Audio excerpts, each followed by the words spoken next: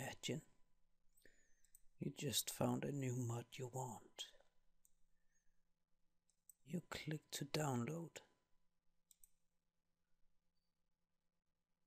And as you know, it's an ADF.ly. You sit there and wait the five seconds. And you clip you click your skip ad. What will happen? You think you'll download the file? No. Mediafire stops you. Just because ADF.ly hates Mediafire, or opposite, doesn't mean does mean that you can't upload or upload your Minecraft mods and stuff to Mediafire and then earn a little bit on them. They stops you.